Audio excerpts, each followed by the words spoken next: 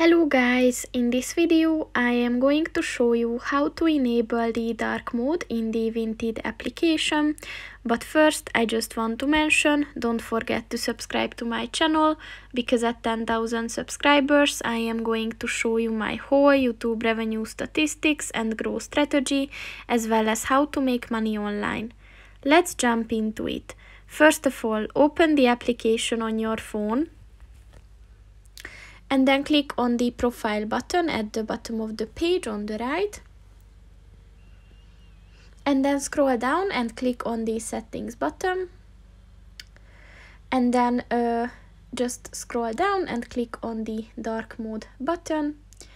And as you can see you can turn it on turn it off or you can uh, enable the uh, system setting uh, which means that the appearance will be matched to the device's settings. So just click on the one that you want to use.